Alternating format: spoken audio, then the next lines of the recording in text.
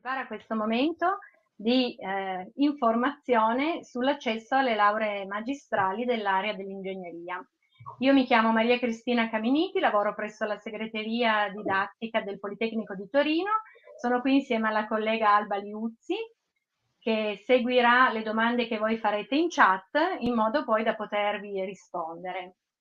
Eh, questo incontro si svolgerà in questo modo, abbiamo preparato una breve presentazione e una panoramica generale, non intende essere esaustiva, ma intende prevalentemente fornirvi indicazioni e strumenti per acquisire poi in autonomia tutte le informazioni necessarie per candidarvi e per immatricolarvi alla laurea magistrale.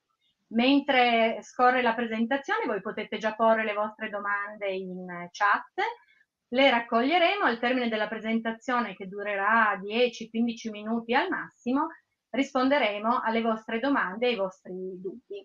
Quindi vi invito a eh, scriverci se avete dubbi vari. Allora, eh, ci siamo presentati, eh, vi dico brevemente di che cosa si occupa la segreteria didattica di ingegneria. Noi seguiamo eh, tutti gli studenti in tutto l'iter di accesso alle lauree magistrali dalla registrazione tramite la piattaforma Apply Polito fino all'immatricolazione e alla compilazione successivamente di piano carriera e carico didattico.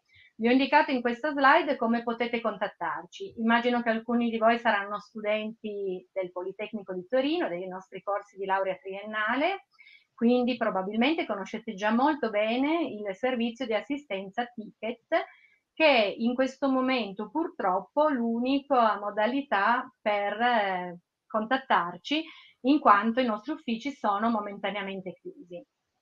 Comunque potete inviarci un ticket anche solo accedendo come utenti eh, esterni o ospiti o se vi siete già registrati sulla piattaforma online Apply attraverso la piattaforma eh, accedere ai ticket vi consente prioritariamente di scorrere tutte le FAC che abbiamo preparato e che riguardano tanto i requisiti di accesso eh, per eh, i requisiti di accesso ai nostri corsi di laurea magistrale quanto le modalità per l'invio della candidatura, per eh, la valutazione, per la compilazione del form e successivamente per l'immatricolazione. Detto questo, quali sono i passaggi essenziali? Informarsi, registrarsi sulla piattaforma Apply Polito, ma questo solo per gli studenti provenienti da altri Atenei, inviare la richiesta di ammissione, quindi candidarsi a un corso di laurea magistrale per i quali siete interessati e infine, sperando che abbiate una valutazione positiva e che sia tutto a posto, immatricolarsi. Allora, fondamentale, siete qui, quindi vi state già informando. Benissimo eh, il materiale degli Open Days, comple- eh, degli Polito Open Days, comple- compresa quest- la registrazione di questa presentazione, rimarranno a vostra disposizione anche per i prossimi mesi, ma qui vi abbiamo fornito alcuni link. Quello principale da cui partono poi tutti gli altri è il nostro portale della didattica. Su questo troverete vari pulsanti per eh, accedere alle informazioni sui corsi di studio, eh, pensate bene a quali, sono, a quali sono i corsi di vostro interesse perché potrete inviare la vostra candidatura solo per due corsi di laurea magistrale e non sarà possibile cambiarli in corso d'anno. Sui requisiti d'accesso e le modalità, il sito principale, la parte del portale della didattica principale è il sito Apply Studenti Magistrali con titolo italiano, dove troverete tutte le informazioni utili sulla contribuzione studentesca per accedere alle informazioni sulle tasse universitarie, sulle possibilità di riduzione, di borse di studio e quant'altro. E infine vi consigliamo comunque di navigare sul sito del Politecnico per scoprire tutte le opportunità eh, che potrete trovare eh, diventando studenti del Politecnico. Allora, per ciò che riguarda le regole generali di accesso, che trovate dettagliate sia sul sito Apply, ehm, sia sul video che è disponibile eh, nel materiale degli Open Days e sui quali per cui sarò un po' ehm, rapida. I requisiti, dicevo, sono principalmente tre, oltre ad aver acquisito un titolo di primo livello. Requisiti curriculari, il requisito di adeguatezza della personale preparazione e la certificazione di conoscenza della lingua inglese. Brevemente, sui requisiti curriculari dovrete essere in possesso di un determinato numero di crediti in settori scientifico-disciplinari specifici per ciascun corso di laurea magistrale.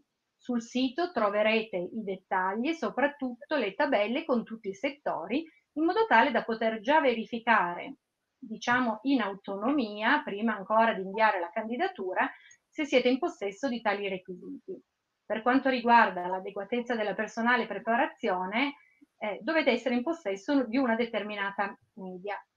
Per accedere ai nostri corsi di laurea, se siete studenti provenienti da altri Atenei, dovete avere almeno la media del 24, escluso per il corso di laurea in ingegneria gestionale, tanto in italiano quanto in inglese, che prevede come requisito la media del 25. Per gli studenti interni, cioè provenienti da corsi di laurea del Politecnico di Torino, eh, i requisiti di media sono un pochino differenti a seconda del tempo impiegato per conseguire il titolo di primo livello.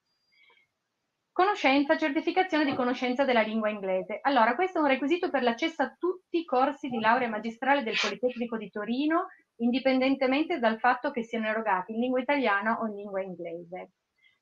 È richiesta una certificazione di livello B2 che corrisponde al 5.0, fatto salvo per alcuni corsi che una, richiedono una certificazione di livello 5.5 come autoveicolo, automotive, per l'anno accademico 2021, in considerazione dell'emergenza sanitaria che stiamo vivendo e quindi della difficoltà di poter sostenere gli esami che permettono di conseguire la certificazione, potrete immatricolarvi con riserva anche se non l'avete ancora conseguita, ma dovrete comunque ottenere la certificazione richiesta entro giugno 2021 per sciogliere la riserva pena il blocco della carriera.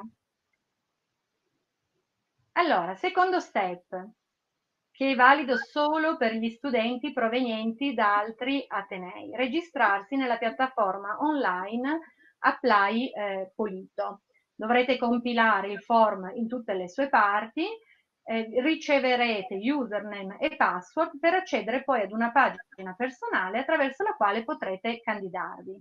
Gli studenti del Politecnico di Torino, per candidarsi e inviare le richieste di ammissione accedono direttamente dalla loro pagina personale, nella sezione segreteria online trovano il portlet Rappai Polito, trovano già tutti i dati relativi alla loro carriera presenti perché sono nostri, li abbiamo, conosciamo la loro carriera di laurea triennale e devono soltanto scegliere il percorso di loro interesse.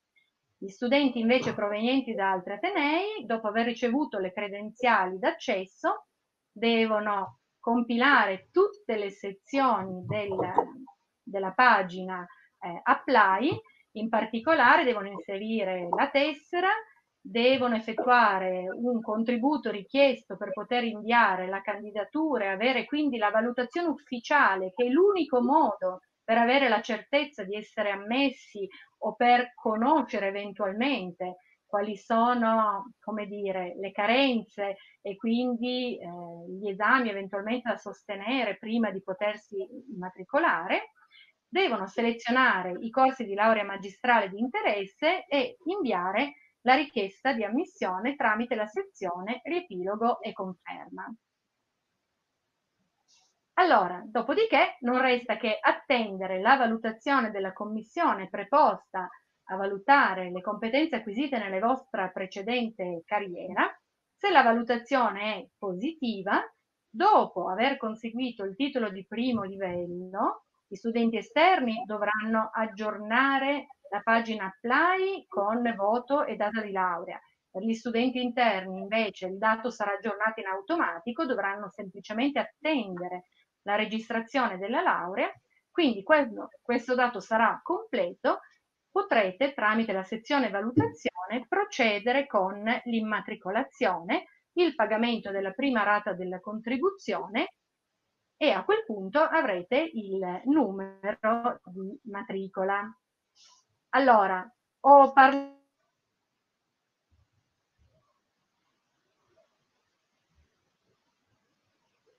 gli step Ora immagino che la vostra attenzione vada in particolare su alcuni punti, vedo che state ponendo le vostre domande. Quindi lascerei la parola alla collega Alba che eh, vi risponderà. Continuate pure a scrivere anche mentre noi rispondiamo. Grazie. Vai Alba. Allora, iniziamo, procediamo per ordine dalla prima domanda. Uh, Niccolò, per quanto riguarda il livello di inglese, il B1 del Cambridge passato con merito, non con distinction, è valido come IELTS 5.0?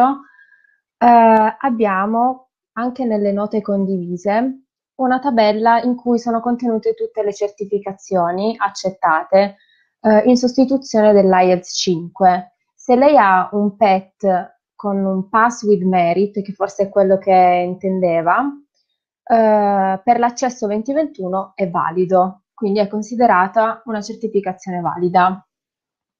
Eh, Alessandro, buongiorno, nella verifica dei requisiti curriculari, quando si fa la richiesta di accesso alla magistrale tramite Apply, vengono caricate solo le materie svolte nell'Ateneo esterno. Allora, eh, quando lei fa la richiesta deve appunto inserire tutti gli insegnamenti superati con voto, quindi deve inserire eh, il settore scientifico disciplinare associato all'insegnamento, il numero di crediti e il voto conseguito, perché questo serve sia per la verifica dei curriculari, appunto come avevamo detto, bisogna avere um, se, 40 crediti nelle materie di base e 60 nelle caratterizzanti affini, questo appunto varia a seconda del corso di magistrale eh, che si seleziona, quindi tutto quello che lei va a caricare della sua carriera viene valutato. Eh, I voti degli insegnamenti servono per il calcolo della media. Poi, Karen, se la laurea è in italiano, è necessario presentare un certificato in italiano o in un'altra lingua? Non sono italiana. Allora, Karen, io le chiederei, ha un titolo estero o ha un titolo italiano innanzitutto? Perché eh, le regole cambiano anche a seconda del titolo di ammissione, quindi se ha un titolo estero tendiamo. Allora, vediamo. Nel frattempo rispondiamo ad Antonella. È possibile effettuare l'iscrizione con riserva perché laureando provenienza da un altro Ateneo? Allora, ehm, non è possibile immatricolarsi eh, se non si è in possesso del titolo, quindi fino a quando non si laurea non è proprio consentito procedere con l'immatricolazione. Eh, quindi dovrà prima attendere e poi anche il giorno stesso della laurea, eh, dipende, cioè il giorno stesso della laurea va a inserire il voto che ha conseguito e già può procedere con l'immatricolazione. Prima non è possibile perché non è proprio consentito dalla legge essere iscritti simultaneamente contemporaneamente a due atenei differenti. Karen nel frattempo ci ha risposto, ho un titolo straniero, sono colombiana e in questo momento sono settimo semestre. E allora se ha un titolo straniero mh, mm, non è questa la, la, finestra di presentazione per lei perché uh, per il titolo estero ci sono delle regole differenti e non so se in questo momento ci siano altre presentazioni se ci sono già state nella giornata di oggi, però eh, appunto non prenda troppo in considerazione queste informazioni perché queste sono per chi ha titolo di accesso italiano. Sempre Alessandro, nella verifica dei requisiti curriculari è sufficiente verificare la congruenza dei settori scientifico-disciplinari e degli esami per avere un'idea approssimativa? Sì, questa è una cosa che consigliamo perché eh, non essendo previste delle valutazioni informali, quindi eh, non possiamo dirvi già con certezza adesso, soprattutto perché non è la segreteria ad effettuare le valutazioni, ma è una commissione didattica, quindi sono proprio i docenti che vanno a verificare. Eh, potreste prendere in considerazione la tabella che dovrei aver inserito nelle note condivise e vi fa vedere per ogni corso di laurea magistrale quali sono i settori scientifico-disciplinari richiesti in materie di base e in caratterizzanti. Quindi già lì vedere con il proprio piano degli studi in mano se ci sono delle, delle corrispondenze. In quel caso già è possibile avere un'idea di quanti CFU potrebbero mancare o se eventualmente appunto, si rispetta il requisito. Poi, eh, in quanto tempo avviene la valutazione? Allora, eh, la valutazione dipende da, da chi la effettua sostanzialmente, quindi eh, noi vi diamo un tempo indicativo di 10-20 giorni per poter ricevere la valutazione. Um, potrebbero essere di più, potrebbero essere meno, però indicativamente il tempo di attesa eh, è quello. Vediamo Emma. Se si viene immatricolati con riserva per mancanza di certificazione di inglese, si possono sostenere e verbalizzare esami oppure prima di sostenere esami bisogna presentare il certificato? Allora, l'immatricolazione con riserva, la questione della riserva, ehm, si ha una riserva perché appunto siete tenuti a, poi a consegnare entro il 30 giugno 2021 una certificazione linguistica valida, però fino a quel momento siete iscritti normalmente, quindi potete compiere qualsiasi atto di carriera, prenotazione agli esami, eh, pagare le tasse, stampare certificati, quindi eh, è un'iscrizione normale, soltanto che c'è questa condizione di riserva che appunto è dovuta alla mancanza del certificato, ma questo non va, non implica nulla a livello di carriera universitaria. Poi ovviamente eh, se entro il 30 giugno 2021 dovesse malauguratamente succedere che uno non abbia il certificato, per adesso è previsto che eh, da quella data in poi ci sia un blocco della carriera fino a quando appunto non presentate un certificato. Questo blocco non significa cancelliamo tutti gli esami, perdete tutto, ma momentaneamente avete un blocco che non vi consente appunto di compiere atti di carriera, come prenotarvi, mi viene in mente agli esami della sessione estiva, che sarà quella poi imminente. Da quando è possibile inviare le richieste di valutazione della carriera della laurea di primo livello? Allora, abbiamo già aperto data 22 maggio, se non sbaglio, sì. quindi è già possibile purché si siano superati i 140 crediti. Quindi eh, se ha già superato 140 crediti può già inviare la sua richiesta ed avere, e avere una valutazione. Andrea, per gli studenti provenienti da altri Atenei la media minima del 24 è calcolata sui singoli corsi della triennale oppure sul voto di laurea? Allora, la media eh, comprensivo quindi dei punti per la tesi ed eventuali lodi. No, non ci basiamo sul voto di laurea, perché oltre a quello è anche eh, a discrezione dell'Ateneo di provenienza. Ogni Ateneo può decidere, appunto, le commissioni possono decidere di attribuire punteggi. No, noi ci occupiamo soltanto di valutare, quindi di calcolare la media degli insegnamenti superati con voto. Quindi tutti gli insegnamenti che lei ha superato e hanno una valutazione in trentesimi, che lei inserisce nella procedura, sono valutati eh, per il calcolo della media.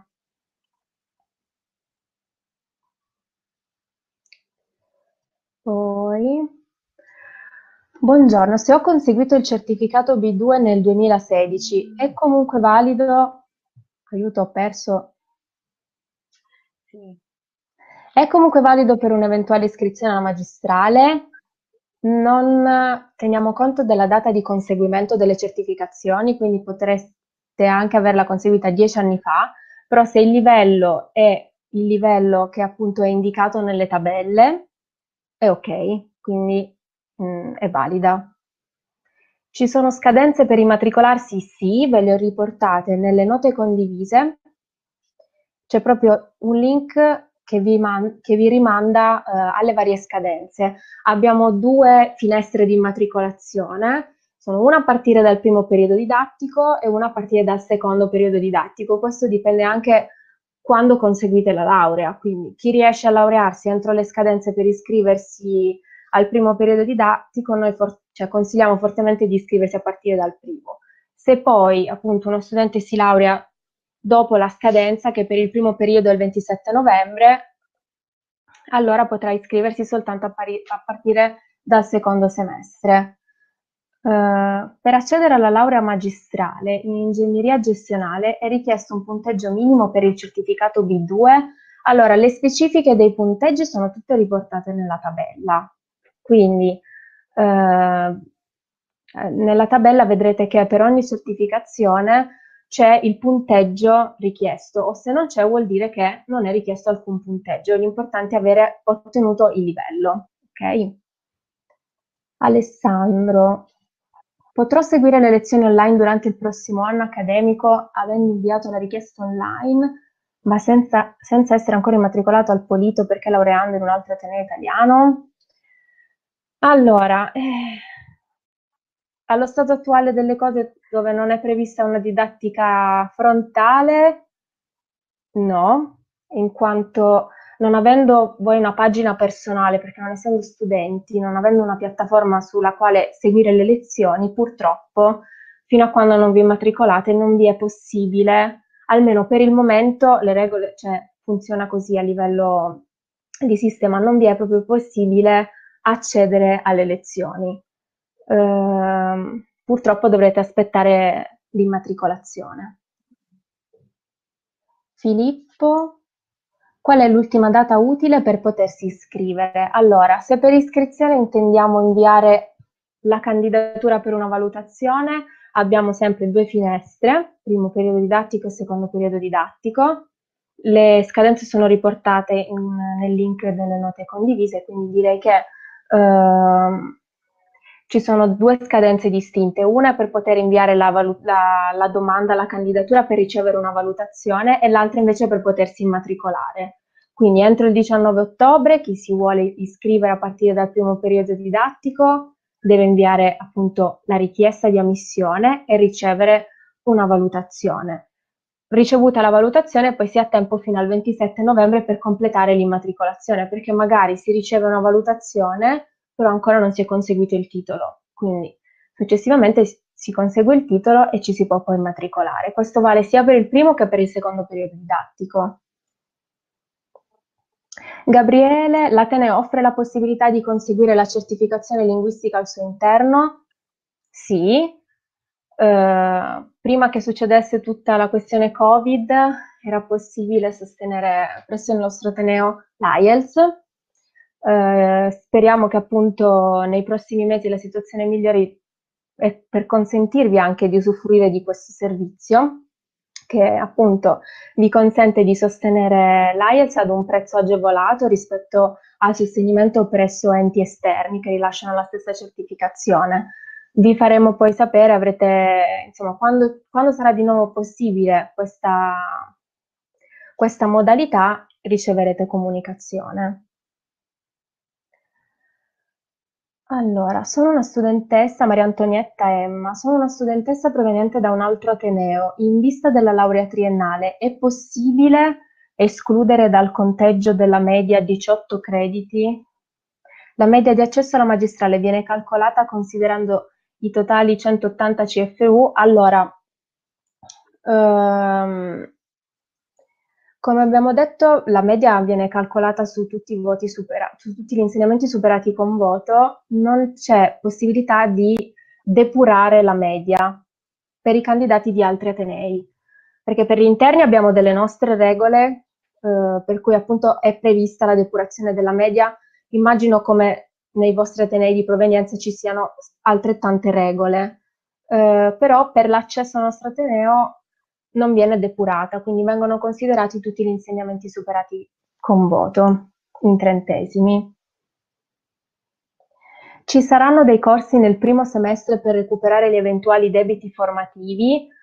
Eh, la risposta è che i corsi sono, eh, cioè nel momento in cui si invia la candidatura e la commissione vi dà delle integrazioni curriculari, eh, potete appunto fare, effettuare un'iscrizione ai singoli insegnamenti, questa iscrizione vi consente di eh, superare e frequentare durante l'anno gli insegnamenti che vi sono stati assegnati e eh, vi dà la possibilità anche di sostenere nella prima sessione utile, che è quella invernale di febbraio, anche insegnamenti che magari eh, sono erogati nel secondo semestre. Quindi ehm, è possibile appunto recuperare i debiti formativi. Ovviamente se eh, si riesce a recuperare i debiti formativi entro la scadenza per l'immatricolazione al secondo semestre, si riesce quindi a iscriversi per, per l'anno accademico in corso, altrimenti si devono poi sfruttare le altre sessioni d'esame che sono la sessione estiva e la sessione autunnale di settembre e poi inviare nuovamente richiesta per la magistrale per l'anno successivo e iscriversi.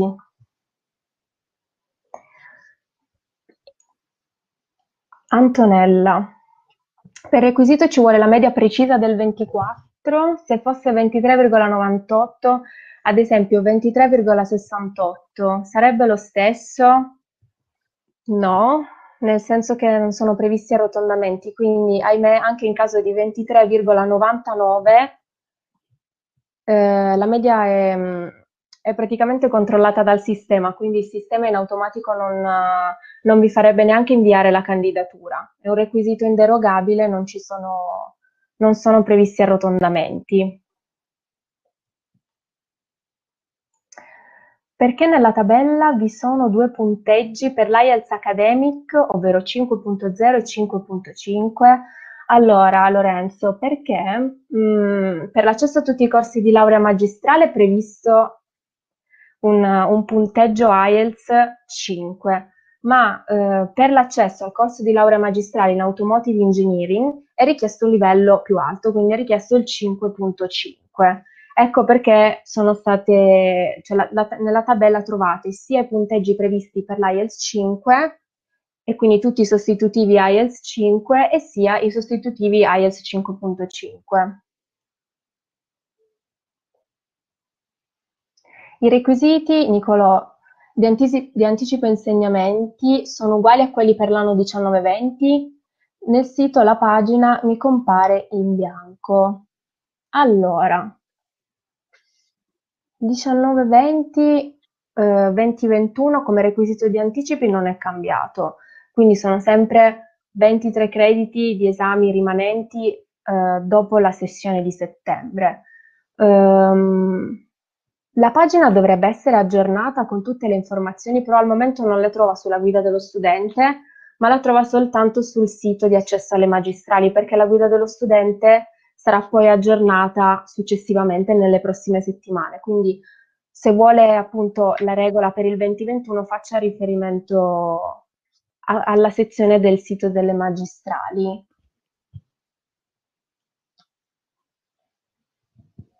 Allora, buon pomeriggio, sono una studentessa triennale del Politecnico. Inserendo nel carico didattico la prova finale, ma avendo sostenuto tutti gli esami della triennale, posso comunque iscrivermi alla magistrale? E l'immatricolazione ufficiale avverrà solo dopo che verrà registrato il voto di laurea? Allora, potrebbe come non potrebbe rientrare nella regola degli anticipi, nel senso dipende quando lei intende conseguire il titolo, quindi ehm, dovendo fare un'altra iscrizione verrebbe da pensare che lei dovrebbe laurearsi a marzo, perché marzo eh, sarebbe diciamo la prima sessione del nuovo anno, però se riesce a concludere tutto ehm, e laurearsi entro dicembre può fare l'anticipo crediti. O se si laurea ad ottobre non ha neanche bisogno di anticipare gli insegnamenti, consegue il titolo e si iscrive direttamente alla magistrale. Sì, lei ha aggiunto, scusami Alba, la studentessa sì. ha aggiunto che se conseguisse il titolo a dicembre, ah, ecco. in realtà lei potrà fare aperta. gli anticipi eh, ma perché tu stai andando in ordine, io invece scorro un po' su, un po' giù. Eh no, allora provo a chiudere un attimo le note, così forse riesco a vedere un po' tutto. Okay. Allora, in questo caso, ah, ecco. Fabiana, se consegui... Sì, allora, se consegue il titolo oh, a dicembre... Vai, vai, Alba. Se consegue il titolo a dicembre, le conviene fare l'anticipo avrebbe comunque il requisito per anticipare, parlo del numero di crediti, non so poi eh, appunto deve anche rispettare gli altri requisiti di ammissione, però per chi si laurea a dicembre è consigliato appunto fare l'anticipo crediti.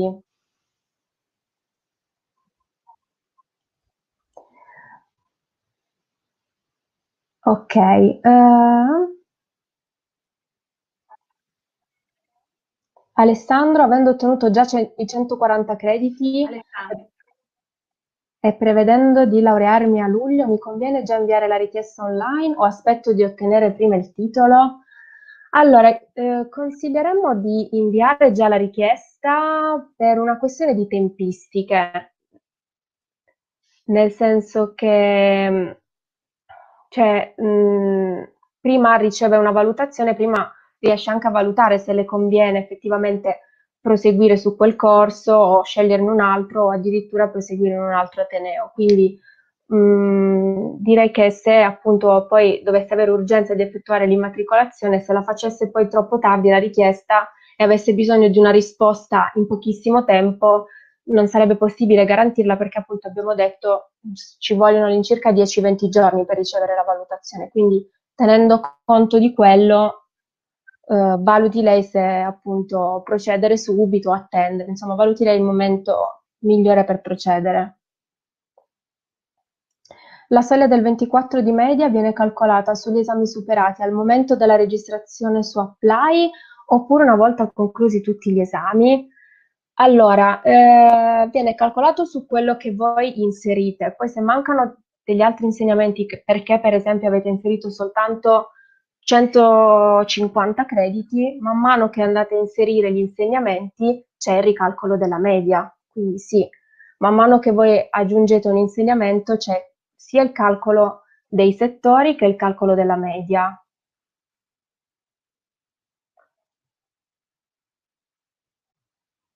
Se il requisito della media non è soddisfatto, Antonella, si possono sostenere degli esami per poter comunque raggiungere quel requisito? No. Purtroppo è un requisito che appunto inderogabile, cioè o lo si ha o non lo si ha, non è possibile integrare in alcun modo, non sono previste delle prove integrative.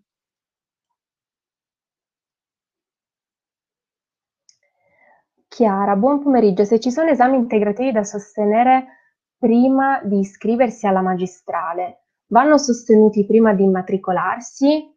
Sì, quindi eh, se la commissione dovesse darle degli insegnamenti da integrare, lei prima è tenuta a superarli, una volta che ha superato e ha anche i voti, del, eh, anche gli insegnamenti registrati, potrà poi procedere con l'immatricolazione alla magistrale. Allora Alessandro, non so se sia di vostra competenza, ma io ho guardato la tabella degli SSD e ad esempio tra i requisiti di base di un corso di mio interesse vi sono l'esame di geometria e l'esame di algebra. Nel mio Ateneo questo esame non è diviso in due parti, ma i due insegnamenti fanno parte di un unico esame. In questo caso la piattaforma come fa ad analizzare questo caso? In caso non sapeste darmi una risposta, sapreste indirizzarmi per capire meglio come muovermi? Ma perché ha un insegnamento unico afferente a più settori scientifico-disciplinari, immagino. Cioè, intende quello? Non so, Alba, se vogliamo comunque dare una L'esame risposta. di geometria comprende anche algebra. Allora, eh, diciamo che appunto il punto di partenza di questo webinar era di dare delle informazioni in generale. Eh, se poi ha problemi appunto nello specifico della sua carriera, ci scriva tramite ticket noi le forniamo assistenza. Comunque sul sito c'è scritto che se un insegnamento ha più settori scientifico-disciplinari, quindi teniamo il caso, poniamo il caso che il suo insegnamento sia da 10 e ha due settori scientifico-disciplinari, deve inserire eh, l'esame due volte, una volta con i crediti relativi a un settore, una volta con i crediti relativi all'altro settore. Comunque dovesse aver problemi, apra un ticket e noi la guidiamo, insomma, nella procedura, non ci sono, non ci sono problemi. Allora, Lorenzo, grazie per la risposta. Dunque, in base a quanto adesso detto da voi, per ingegneria informatica è necessario un punteggio minimo di IELTS 5, sì, per tutti i corsi, tranne che eh, per automotive, quindi sì. Ok. Bene, il tempo a nostra disposizione è scaduto, ringrazio tanto Alba per la completezza e la chiarezza delle risposte. Come ha appena detto lei, vi invitiamo se avete ulteriori dubbi o domande specifiche sui vostri casi particolari a contattarci tramite ticket.